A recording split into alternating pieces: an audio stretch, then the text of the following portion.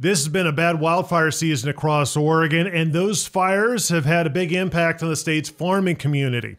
Joining us on the PNW Ag Network hotline is Matt McElligott, president of the Oregon Cattlemen's Association.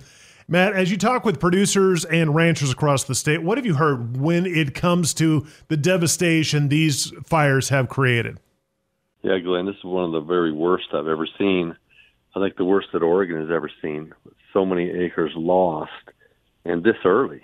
We're just into mid August right now. We've got a month to a month and a half of fire season ahead of us. Uh, what I've been hearing in the field as people are starting to kind of recoup a little bit as the smoke clears and some of these fires are getting under control is they're trying to find their livestock and assess the damages that has happened to their outbuildings, their infrastructure like fences, their water systems, um, and locate their livestock.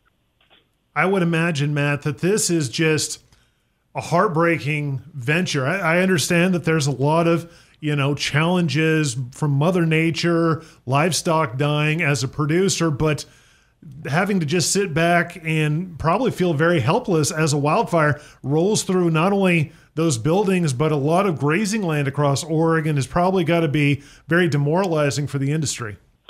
Yeah, millions of, uh, you know, over 1.2 millions of acres have already been lost to wildfires. And uh, you're, you're absolutely right. There's not much you can do. I mean, you do your best to protect what you can, uh, and then you just have to let Mother Nature take its course. Uh, and uh, some of us are, are lucky rains hit at just the right time to slow the fires down and help the firefighters get a handle on it, and some of us aren't. Um, and it's it is it's pretty tough, pretty tough on on families that have been generational ranches uh, to watch uh, your livelihood and your hard work just disappear in a matter of minutes. Matt, along those lines, have you heard of any or heard from anybody? I guess I should say who've said, you know what, Matt, this this fire was just unfortunately the nail in the coffin, and, and we're just not going to be able to rebound from this? You know, I have not, and, and I don't expect a whole lot of that. Um, ranchers and, and those in the agricultural community are very resilient. Um, and this isn't the first disaster anybody has ever faced, whether it be fire, flood, um, cold weather, you know, high winds, that's the name of the game, unfortunately.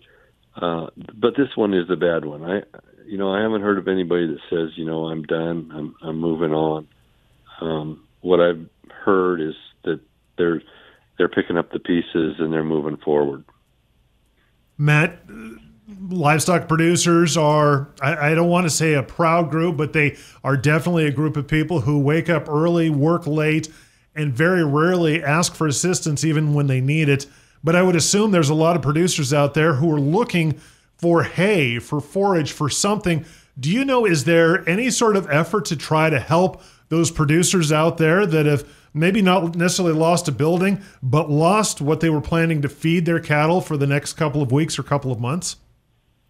Yep, yep. So when you lose right now we're in the in the heart of the grazing season, and you lose all of that forage. It was standing forage that cattle were to convert into pounds of beef.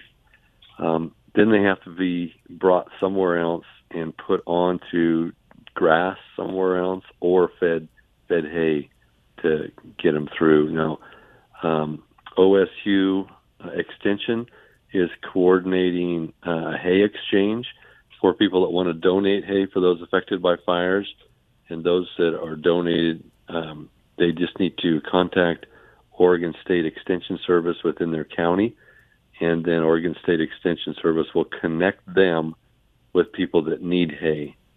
Uh, we can help facilitate that through OS uh, um, OCA, but OSU is is really taking the lead on that. They aren't physically taking the hay, but they are connecting people that would like to donate it, that people that need hay donated to get them through this this time period. You know, Matt, that that's great when we can see different parts of the farming community rally around each other and to help each other. Is there a way the non-farming community can help if somebody lives in town and and they don't have a hay field? Is there a way that they can help producers? Oh, you bet. Yep. Um, Oregon Cattlemen's Association has set up a wildfire funding um, uh, account to where if they want to donate ten dollars, twenty dollars, fifty dollars, or or two thousand dollars, um, that money goes into a reserve account designated just for wildfire recovery for the people that need help. Um, and we are collecting funds uh, right now as we speak, um, putting it into that account. And then as people assess what they need, how they've been hurt, the livestock they've lost, the miles and miles of fences that are going to need rebuilt, um, or a corral system or outbuildings, then uh, we'll have an application um, process to apply for help funding there. Matt, you alluded to this a little while ago. Can you again maybe talk to our non-farm listeners out there about what a unique situation it is to have a natural disaster roll through because it doesn't only impact you uh, uh from a professional standpoint as a producer, but this also impacts your familyhood. So it can be it impacts you both on the clock and away from the clock.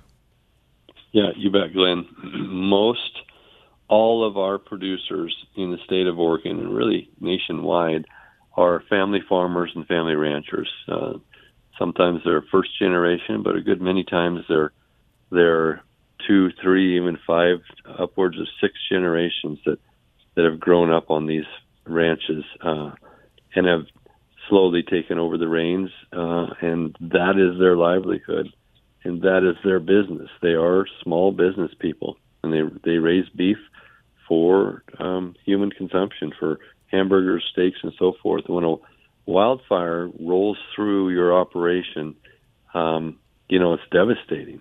That that's you know think about it. One day you go to work, and then next day you don't have anything there to go to. Um, so they have to start rebuilding and they rebuild those ranches. And in time, they they will get rebuilt, and, and the ranges will rehabilitate. But it's not an overnight not an overnight deal. When fire um, rages through your outfit, burns up all of your pasture, it can take a year to two years just to rehabilitate those pastures to where you can use them again and uh, and stock them and start uh, your livelihood all over again. So there there's you know, we haven't assessed, we haven't uncovered really all of the needs out there. It's too early, but we're starting to get some some information back as people are able to get out, find their livestock. Um, those that are alive, those that don't have to be euthanized, um, and they're they're gathering their livestock and assessing, you know, what their infrastructure needs are. Matt, that has got to be a daunting task for producers across the state what words of encouragement would you give to the livestock producers out there as they face, like you said, maybe a year, maybe a couple of years of trying to overcome, trying to rebound from this wildfire season? Yeah, first and foremost, I would say don't be too proud to ask for help. Um, we are working hard through Oregon Cattlemen's Association, not just on on a, you know, to gather money and have it available, but assistance. We're here to assist and connect you with the right people and the right resources. Well, we've uh, asked the governor to um, to designate uh, areas that are hard hit by fire as disaster areas, and she's done that. Um, she has also written letters to the Secretary of Agriculture and the Secretary of Interior asking for help from the federal government, and the federal government is stepping forward and letting people graze CRP grounds as an emergency basis, um, asking for relief on their permit rotations and, and the amount of grass that they could use on federal grounds to make up for what we've lost on private individuals' ground. Um, FSA um, has disaster uh, assistance through Livestock Forage Disaster Program or LIP program. There's all sorts of programs out there some of them are just being put together. Um, but USDA, NRCS, the FSA, Oregon Cattlemen's Association, OSU, and private individuals. We're all coming together. So they're not alone. Um, there's help out there. Uh, and in the new agri stress help line that that we helped put together just this past year is available. So there are resources. Uh, my, again, my main uh, message here is you're not alone. The industry pulls together and helps each other, and we are here to help you. And there's resources out there to help you through this. Matt McElligott, president of the OCA, thanks so much for joining us right here on the PNW Ag Network.